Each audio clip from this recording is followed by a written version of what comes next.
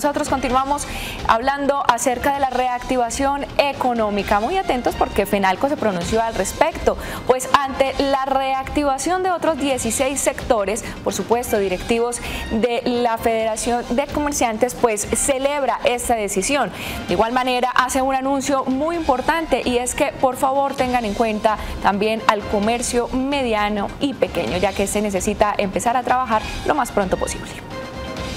Son 16 grupos económicos que se reactivarán en esta cuarentena, entre ellos los relacionados con los automóviles, maquinaria, equipos de cómputo y fabricación de muebles.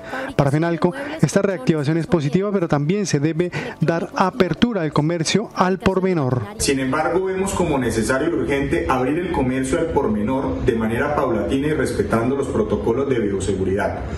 Con la alcaldía de Bucaramanga estamos revisando la implementación de jornadas adicionales o la implementación de 24 horas con el fin de ir articulándonos para poder reaperturar nuevos comercios y nuevos negocios y de esta manera ir progresivamente mejorando la economía de Bucaramanga y Santander. Si no se abre la puerta para reactivar el comercio pequeño y mediano, se van a generar graves consecuencias en la economía de estas empresas que impedirán su sostenibilidad.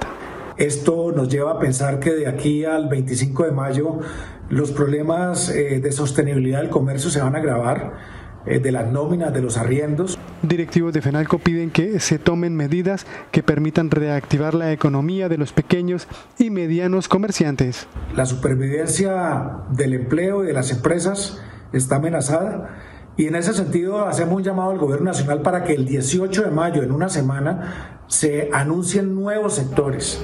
Penalco Santander sostuvo reuniones con la alcaldía de Bucaramanga para buscar una reactivación local de los pequeños y medianos comerciantes de la capital santandereana.